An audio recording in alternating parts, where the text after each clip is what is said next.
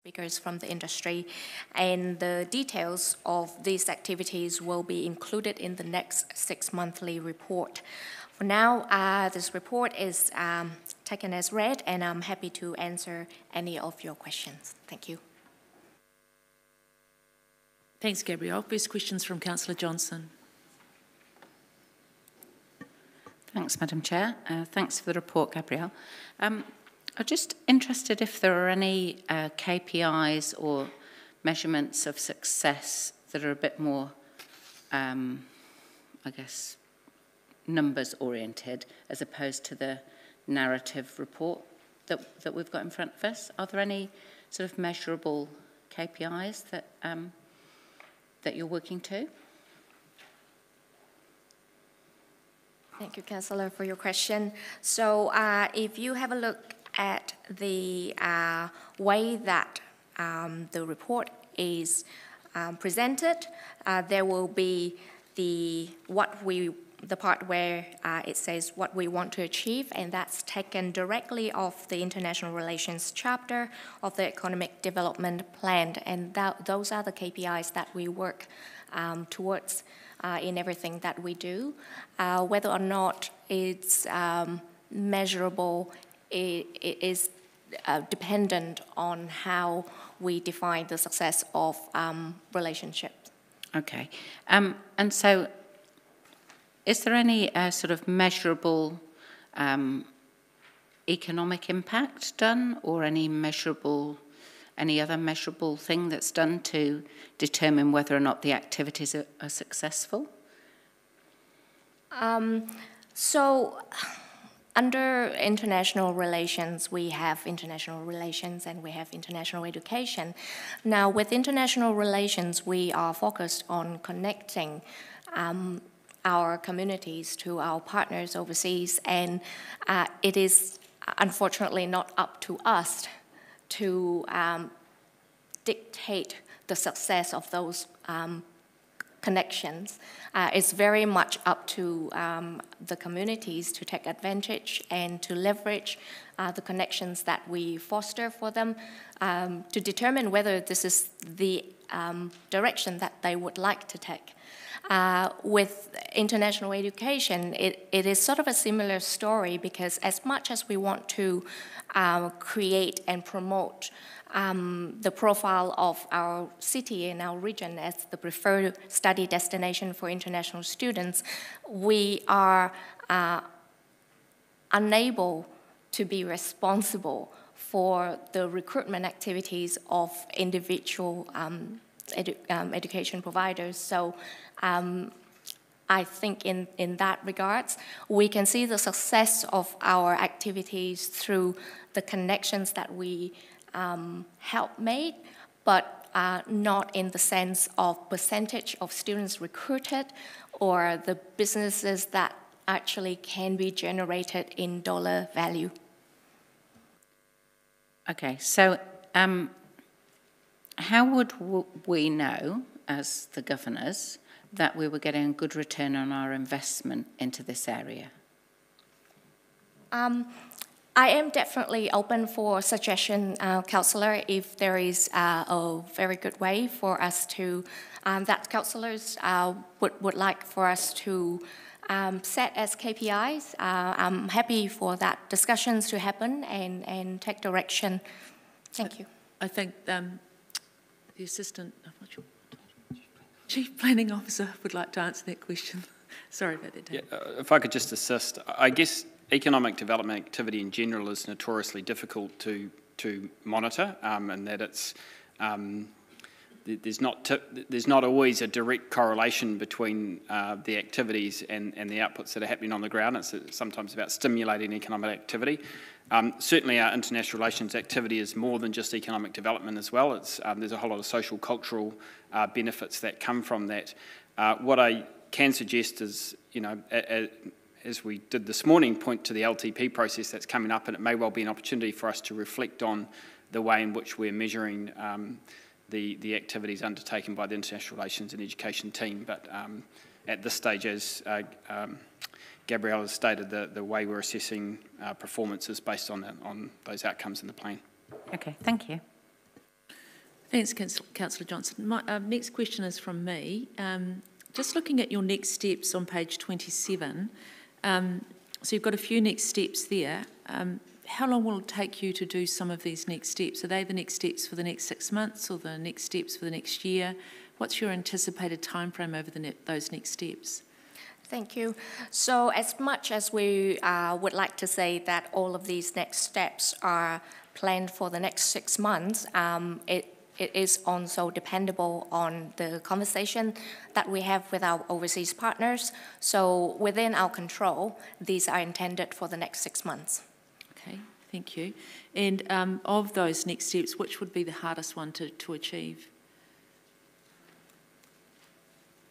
Sorry, I have a, a different um, set of paging numbers. Um, so my one goes from 1 to 16. So I'm, I'd just like to ask uh, you to clarify which next steps. Pa- Page 27, Page 27? the order paper.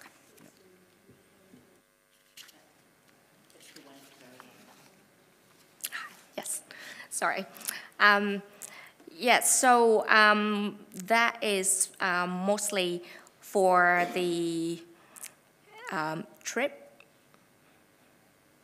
The trip to Vietnam? Yep. Yep, that would be the the hardest one trip to... to Vietnam and, and Japan.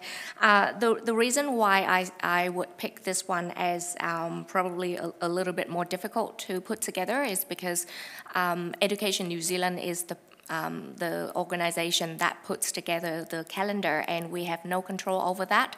So at the moment, all we have is tentative dates, and therefore all the planning has been on hold until that date um, is confirmed. Okay, thank you so much for those answers. And we've got um, Councillor Mickalad next. Thank you, Madam Chair, and thanks, Gabrielle, for the report. I think just want to clarify, um, not clarify, but trying to seek some understanding around um, the second paragraph on page 14 where you say that we've increased our engagement with relevant government agencies like Immigration New Zealand and Education New Zealand, as well as the diplomatic corps in Wellington to identify opportunities for our city's growth areas, to advocate for potential mitigation, current risks and challenges, and expand networks with potential international partners. Just want to ask, what sort of um, solution have come out of these, meet- these meetings in relation to international um, I mean, the shortage in skills and international education. Thank you for your question. Um, so we have definitely um, placed a, a very um, strong importance on, on building up rapport with the international um, diplomatic corps over in uh, Wellington. And one of the things that came out of that uh, was um, the Agritech Business Connect luncheon that happened uh, last week, uh, which I did mention earlier. That is going to be detailed in the next six monthly report. So uh, we um, definitely build up that uh, connection with them and also engage with our community over here and see what are the key uh, area that we want to um, focus on uh, from the community's uh, needs and wants, and then we'll, we'll match as much as possible and bring those opportunity um, to us. So uh, after the luncheon last week, uh, the conversation that we are currently having with the talents and skills manager, um, advisor, sorry, uh, over in CEDA is how we can utilize the connection that we are making with Israel to address the skill shortage that our current IT um, sector in Manawatu is facing. So that's one of the examples that we are, uh, we are doing at the It's moment. good to know. Thank you. Mr Karatiana? Thank you, Madam Chair. Um, just a couple of comments and then a question. But uh, firstly, just on behalf of, Manawatu, of Rangitane or Manawatu, I'd just like to acknowledge the level of engagement and um, involvement we've had in, in, recent times from you. Thank you very much. Um, and also comp to compliment you on the function to um, celebrate the um, relationship with Missoula at Te Rangimarie. Thank you. Um, just a question about uh, Kunshan. Um, in the mid 90s, I went to Kunshan with the mayor to establish a new relationship, and I just wondered where that relationship had got to. Thank you very much for, for your comments. And uh, definitely, Kunshan is uh, a very important um, strategic uh, partner for, for us. Um, our last conversation with Kunshan was that uh, they were looking for um, a few uh, key people in the wetland um, management area, and uh, at that time uh, we were not in in the um, um, let's say in, in the high priority list of partners that they were uh, really looking for. So we have said um, that well this is to the most extent that we can help you with, but uh, let's re-engage uh, a little bit later in the year uh, with um, areas of cooperation that are closer to our growth strategic um, uh, sectors of the Manawatu region and, and our city. Um, Councillor Naylor. Thank you. Um, on page 27, under the next steps, there's one bullet point there that talks about um, engaging with local agents for family trips to Palmerston North and explore opportunities to promote our regional offers. I'm just trying to understand a little bit more about what that is meaning or what the purpose of that is. Uh, thank you, Councillor. And uh, that is actually um, um, typo for from autocorrect. It's actually a familial trips, so familiarization uh, trips for agents. And the idea of those trips are to introduce our region and the city's offers in terms of education to the recruitment agents so that they can represent and promote our region better when they go and do their recruitment activities. Oh, that makes a bit more sense. Thank you.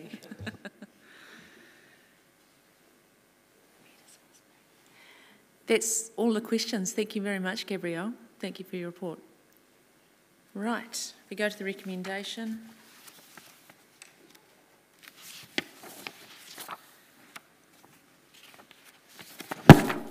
Sorry. Um, I'd like to move the recommendation. I'll just read it out that the committee note the progress on the international relations and education activity over the past six months, contributing to the economic development plan and innovation and growth growing city strategy. I'll move it, seconded by Councillor Dennison. And I will look for comments. First off, we've got comments from the Mayor. Thank you, Madam Chair. Um, apologies for, I, I, was in the wrong meeting a little bit before, so coming on a little bit late. Um, look, just want to congratulate um, the officers. Um, it's been hard work um, in uh, you know, difficult COVID times, and um, most of all, just about all of this work um, is online, and it's testament to the standing relationships that former mayors and councils have set up that allows the city to keep partnering with its international partners. But domestically, it's also good relationships that we've uh, forged with not only ministries but the diplomatic corps. I've been told that uh, from uh, the Dean of the Diplomatic Corps that outside Waitangi Day, uh, the Palmerston North Festival of Cultures is their top event in Welling- for, for, Welling- for the Wellington based Diplomatic Corps to come um, or to, to attend. So I think that's testament um, to the work that we've done. There was a couple of questions around KPIs and um, and look, as somebody that works or leads in this space, it sometimes is hard to sort of quantify hard quantifiable um, measures. Um, but it is an ecosystem and it really does take, um, uh, we're the enabler and it does take some work. I can tell you now that um, uh, our workforce has um, been impacted positively because of the city's um, position on internationalism the healthcare um, sector, mid, mid-central, the, the, former mid-central DHB, 60% of its workforce is international. And actually having a strong um, city that's focused on internationalism, supporting a multicultural um, council and different events um, all go hand in hand. Uh, you see that in science and research as well, where there's a lot of international people here who feel really comfortable um, coming to Palmerston North, which has a more worldly um, outlook than, say, the Napiers, the Nelsons, uh, the New Plymouths, and even the Hamiltons. So I think we've got something to be proud of. Um, also, international trade, we can't forget. Um, we can't, sometimes we can't measure that.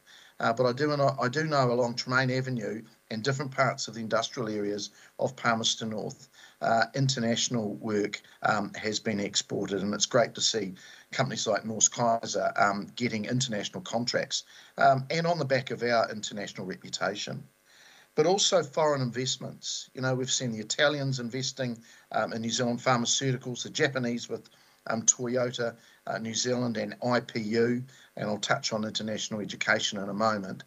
Um, but also the Malaysians um, with the uh, motor truck dis- distributor group. I mean, there's so much um, that flies under the radar, which sometimes um, isn't visible to the public and indeed councillors. So, um, also just on international education, if we didn't have an international program, I think we would have possibly lost a tertiary organisation during the COVID uh, pandemic, um, and certainly others would have been uh, more impacted than they are now. So, congratulations to the officers. I think they've done a really good job in, in quite trying times. And um, yeah, I ask you to support this. Thank you.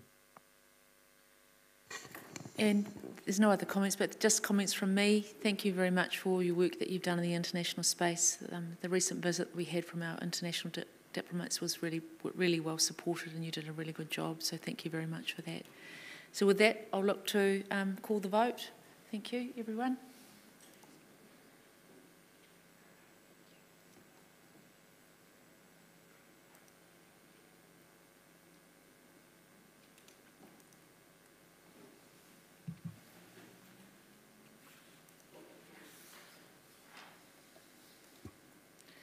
That's passed with 14 votes for, so thank you very much for that, everyone. We'll move to the next item, which is item number seven in your paper, and we'll ask um, Stacey to come forward. Um, is Khan coming as well? Just yourself, Stacey. Okay, thank you.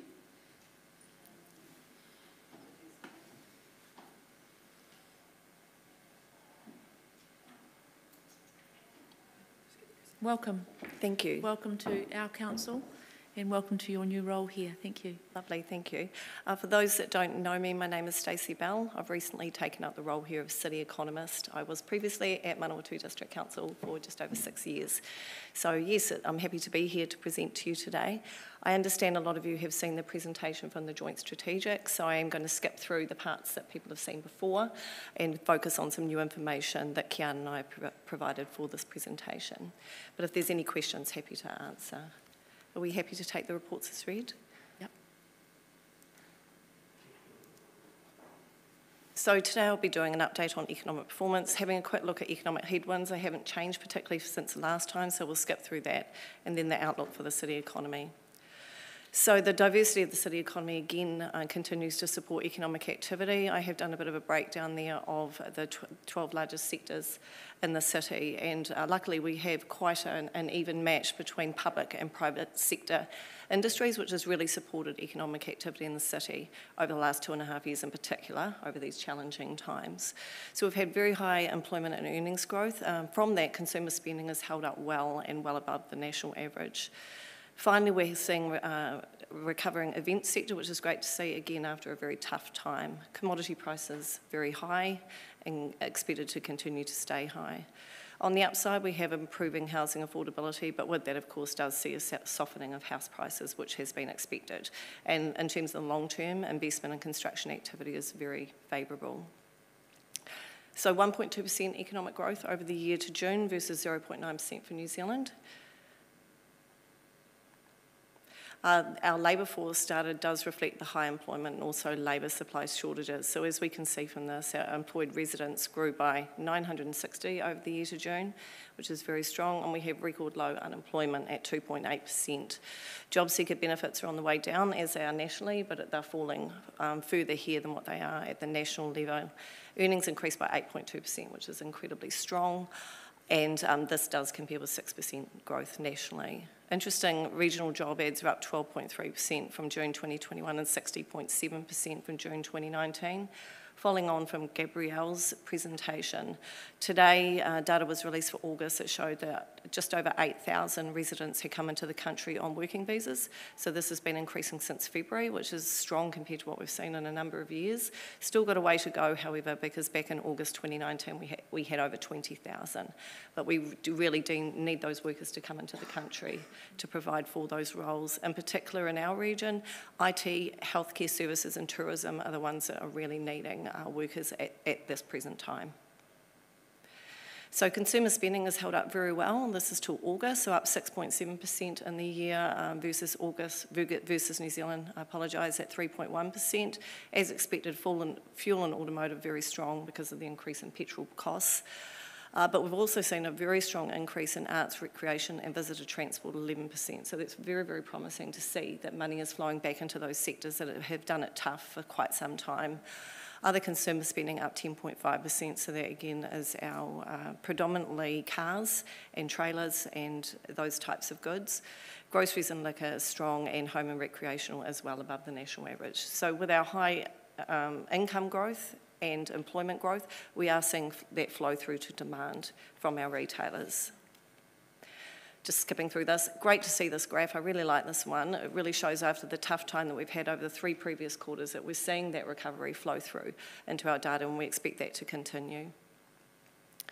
I'll just, yeah, I'll, I'll touch on this briefly, but again, our uh, food prices, our uh, commodity prices for food produced in the region is very, very strong at the moment. It has come off the peak of, of March, but still very strong, up 11.7% over the year to August uh, 2022 in terms of our trade. We also had a very positive um, global dairy tra trade auction result overnight at 2, 2%, and because our dollar is down at 5, 0.58 US, which is incredibly low, uh, that um, trans transfers to about 4.2% increase in the value of that global dairy trade auction in New Zealand dollar terms. So it's favourable to see and has, again, is one of the strengths that we've had in Palmerston North and the wider region in terms of supporting economic activity over this difficult two and a half years that we've had.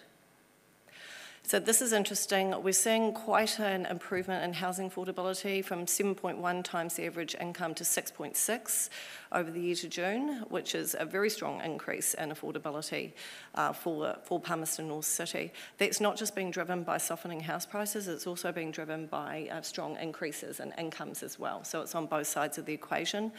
I have put up these two data sets here which show the average residential house values uh, relative to the median. So the median always shows a much higher um, decline. We can see that um, for Palmerston North City in particular at 14.6%, whereas the annual percentage change for the median price was 3.5. What that shows us is that there are more properties being sold at the average or lower quartile values than what there is nationally. So we'll be keeping a close eye on this data because it is interesting to see, see the change, but having the softening in the lower quartile prices is positive in a social sense because it improves affordability for our families and in particular at a time when we're wanting to attract workers into our region to take up the many jobs on offer. But we will, Kian and I will be keeping a close eye on this data and bring it back and update you quarterly. So we know all about inflation. I won't, I won't re-litigate that one, except to say that the, the food price data came in a couple of days ago at 8.3% year on year to August, very strong, 14.5% increase in food, um, fruit and vegetables, which was the highest increase. Mortgage and business lending costs, costs we know they're on the up, although um, there are some commentators that are saying that fixed mortgage rates are plateauing now, but there are, the commentary changes daily on this. So it's very, very volatile at the moment. Expenditure on cars and commercial vehicles has really weakened, especially in the June quarter, and we know that construction sector activity has softened and also that tight labour markets are continuing to affect our businesses. So rental prices are, slower to respond. So in the graph, we see the difference between house price growth relative to rental weekly rental price growth. We have had a softening of rental price growth, but it's still higher than what we would like to see. Uh, rental stocks are also declining slightly by 24. Ideally, with market conditions at the moment, we would like to see that rental stock actually increasing. As there's lower um, returns to capital, we would want landlords to be releasing their properties to the formal rental market for people to live in. Um, we're not seeing a lot of that yet, but again, another uh, indicator that we're keeping a close eye on to monitor progress. Public housing register is up a little bit over the year. Um, New Zealand's still up well over 2,000 uh, over the year, um, 8.9%. We're up 4.5%. Not ideal, but it is indicating those pressures, cost pressures in the market and the affordability of homes for lower income families. So our vehicle registrations did weaken in the June quarter. Uh, new car registrations down 16.3%. This is versus a fall of 19.3% for New Zealand, so higher than the national average, and the same holds for commercial vehicles, down 48.4% versus 49.4% um, across New Zealand. This is probably as a resulting from risk aversion due to economic conditions, global economic conditions, as well as rising costs and interest rates, and an aversion to buy. We also had very strong investment in big ticket items last year, so there could just be a concentration of, of investment at an earlier point. But again, we'll be keeping a close eye on that data. Our new car registrations was stronger over the year, up 6.8%, which just shows the relative strength in the previous three quarters relative to the last quarter, and commercial vehicles down 3.6% versus New Zealand at 6.9%.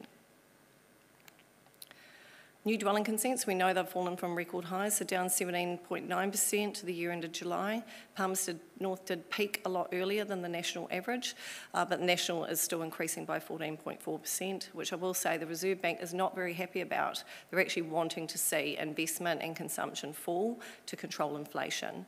So we're expecting that to follow suit and fall just as it has here in Palmerston North.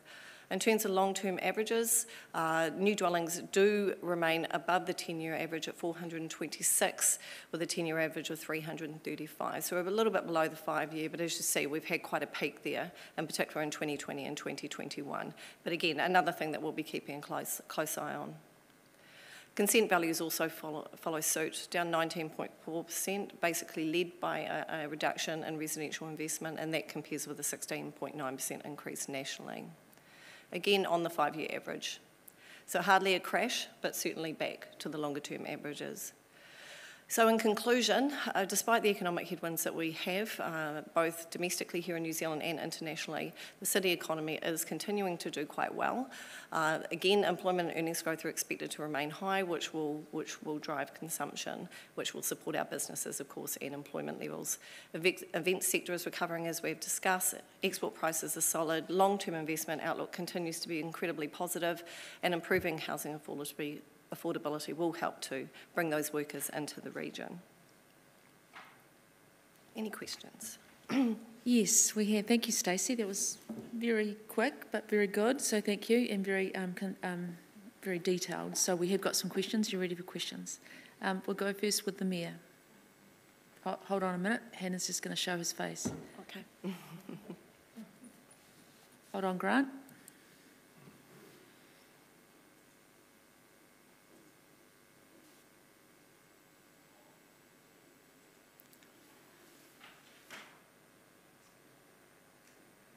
Um, thanks, Madam Chair. You're going to be disappointed because my hand was up from the last time.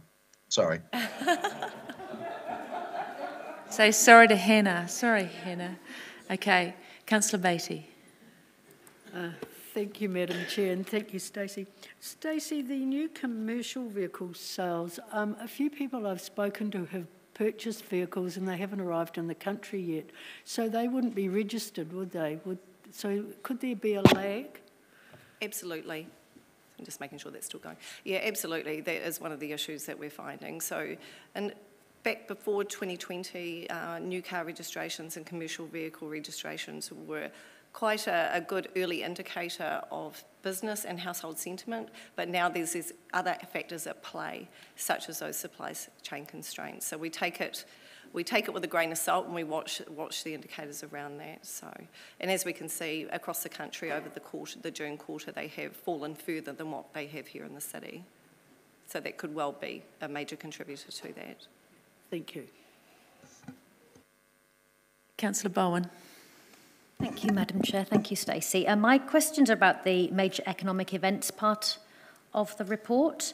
Um, I think I struggle a little bit with the definition because obviously we have our own internal major events fund for council and that's not what this is. Uh, see in 3.2 you define it as significant public participation and regional income and I wondered is that do people kind of self-select into that category or is that a definition that we provide for people to report against?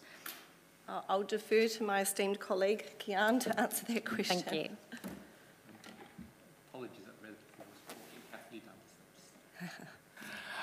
Good afternoon, uh, Madam Chair. Good afternoon, councillors. Uh, could you repeat that question, please, councillor?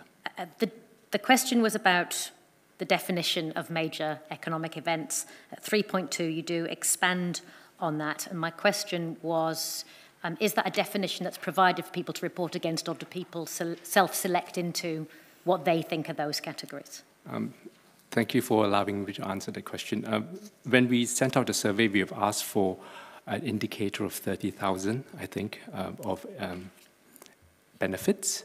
But because we also wanted to capture any other thing, and during the post-COVID situation or during the COVID situation, there was really nothing much that we could report on.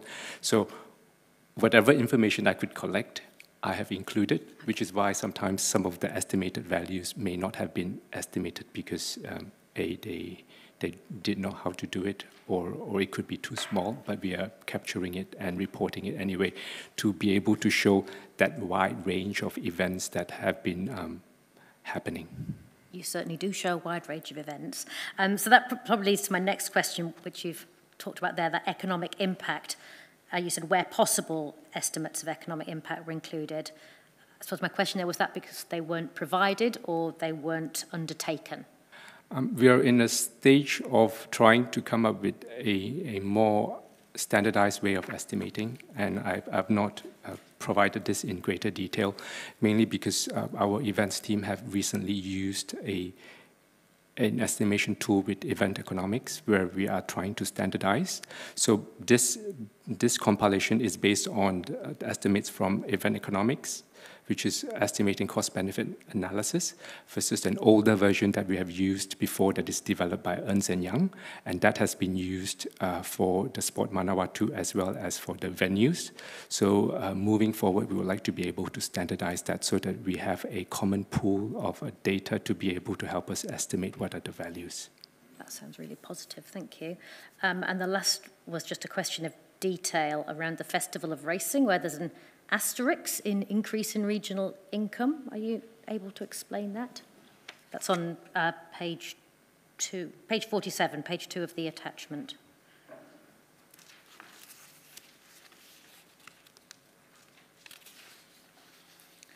I think that's still to come. I think that waiting for Luke to fill that detail in because they're waiting for racing to give that information. That's what I understand. I've been part of some of those emails.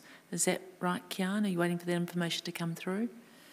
Yes, uh, at the time when they submitted the report um, or submitted the survey, the information was not available, so we have uh, make a note. Thank you. Thanks. It's Thank coming you, through Chair. from racing to Luke, and I think it's got to then be submitted, and I think that's what I understand. Can't wait. Thanks. Um, Councillor Barrett. Thank you, Madam Chair. Um, thank you, Stacey, and, and welcome, and Kian as well. Uh, Stacey, the questions, I guess, principally around scope um, in terms of what sits in this economic monitor space, and, and my this point of reference around that's New Zealand Treasury over recent years has has kind of taken a broadened scope of of kind of economic analysis and, and has what's called a living standard framework now, which you're probably aware of. You're coming into this role and, and, and coming into this kind of, um, I guess, existing reporting space. Are- Are there any parallel opportunities kind of at a city level to think about kind of relensing some of this in a way that might, um, uh, I guess, broaden broaden our outlook a little bit and also potentially link to kind of some of our broader strategic direction? In a word, yes. So I have done uh, a lot of business case and economic case development. We use a lot of different tools, which includes wellbeing analysis across the four wellbeings uh, in terms to support decision making. Sorry, could you just put your mic a little bit closer? It was on, it was just Okay. too far away from you. So if you pull it towards you, that'll work a whole lot better. There we go. Yeah, so, so that's something that I've done a lot of work on and um, did it within my master's degree and in my previous employment, a lot of business case work to support strategic decision making. So that's certainly something um, that we plan to use my skills for. And in terms of the living standards framework, I have been very keen on learning it uh, in depth. I am in the early stages of teaching myself that. So I have used it on one business case, uh, economic case uh, development before, but I'm very keen to use the breadth of economic analysis to support decision making in the council. Great. And in terms of council direction, it sounds like you're kind of in train already with some of that thinking. And, and can we, I guess, therefore expect some evolution in terms of what we're seeing? Absolutely. I think with the quarterly reporting, this is my view currently, is that that serves the purpose of providing up to date information uh, for the councillors to understand what's going on right here, right now, and how that's impacting on our communities. But in terms of the wider strategic or the high level st- strategic um, decision making, then other types of analysis are appropriate. Right, thank you.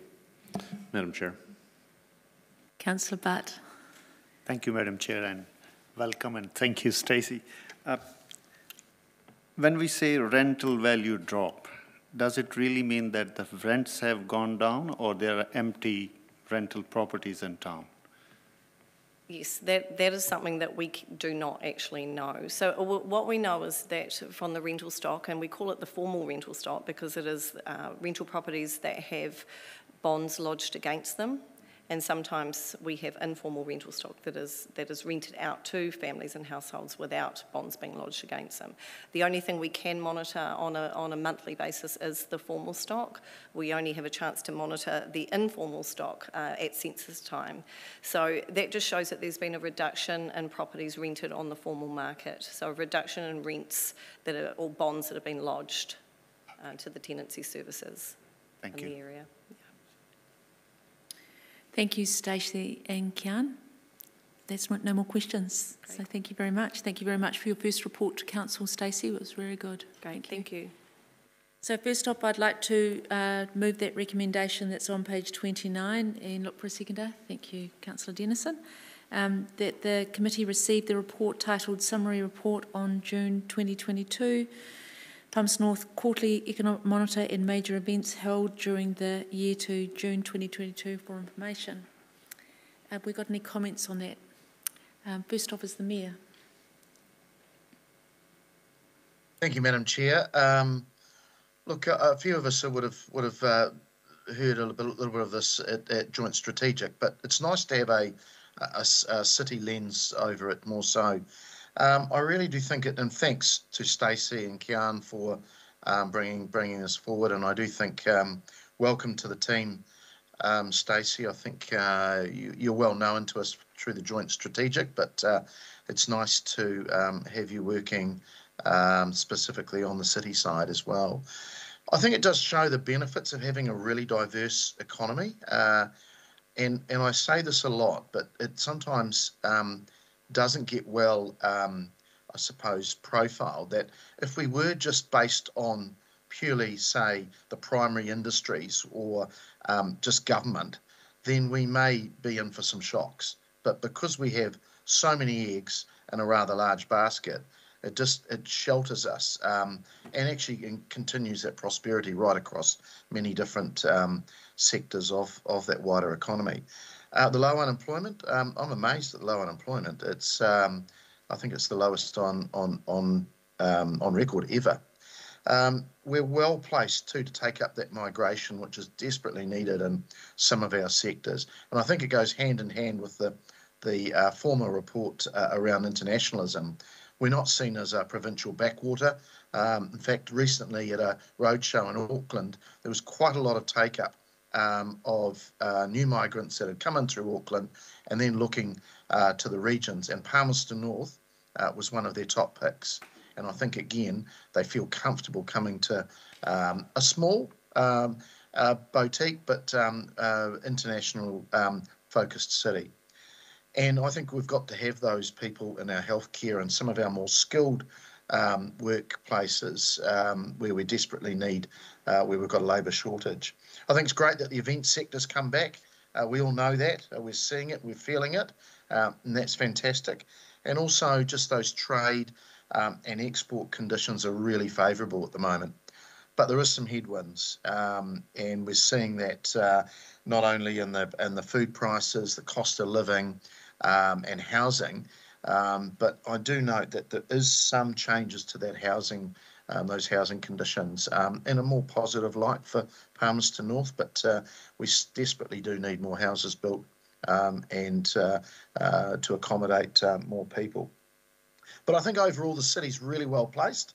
And again, just come back to that diversity uh, that we have, not only in our population, uh, but also in our economy. And I think it just uh, it, it, was, it really does uh, give us a great platform. So thank you again uh, to the officers. Um, yeah, really good report. Thank you.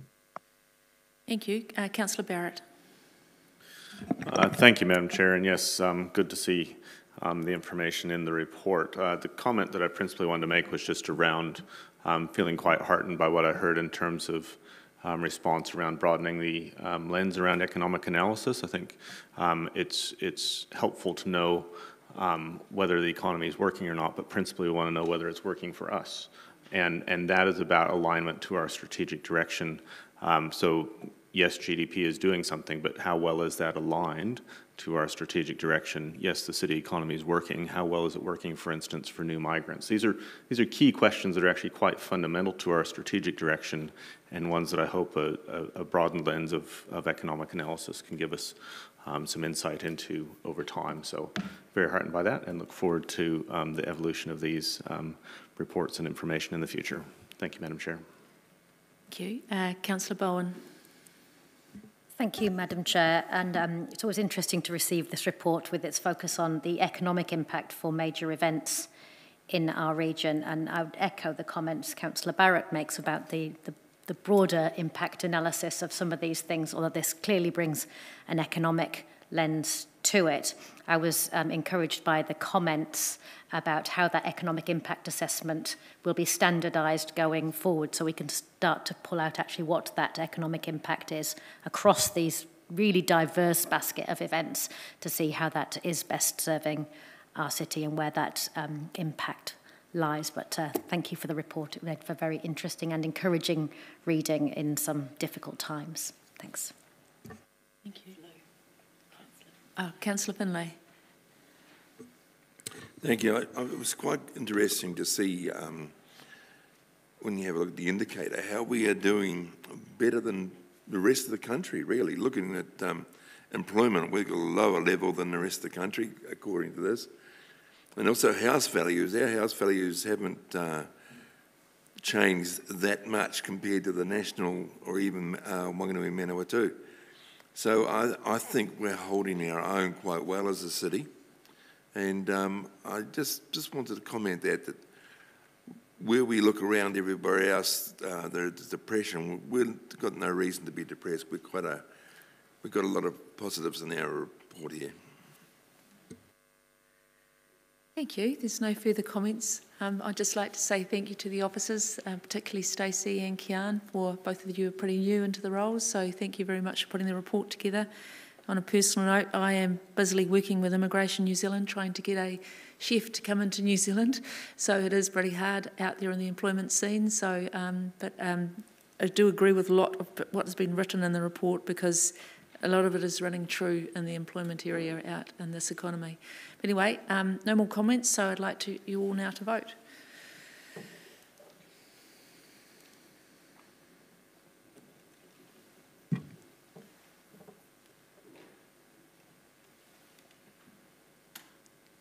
And that's passed 14 votes to naught. And so we'll um, now move to the next item, which is the work schedule. So that's on page 49. Have you got any comments to make? Uh, no comment, no comment, Madam Chair. No comments from David. Has anybody got any issues they want to bring up with the work schedule? Councillor Johnson. Um, it's just a question, Madam Chair, around the sector profiles. Um, so, and correct me if I'm wrong, they've all been completed, have they not? The, the construction agriculture, we've had them through once?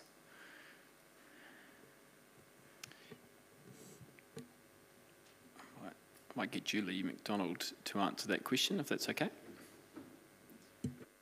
We've had some of them through. Kia ora, Councillor.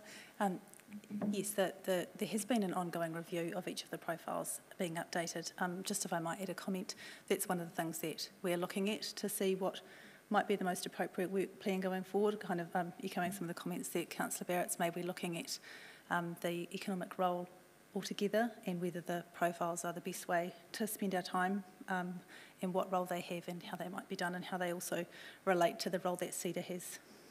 Okay, well, that's answered a whole lot of my questions. Thank Big you. promise, wasn't it? Yeah, I think good. that's why you've written the word terms of reference in that column there, because you're, that now, would that be clear? Because why you've written the word terms of reference?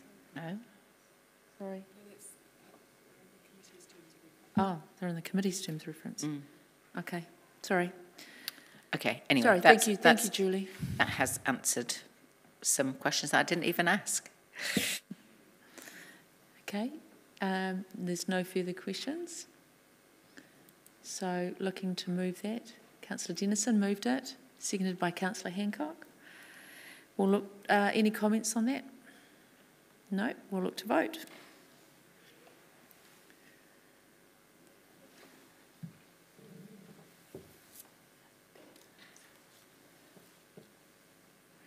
That's passed unanimously.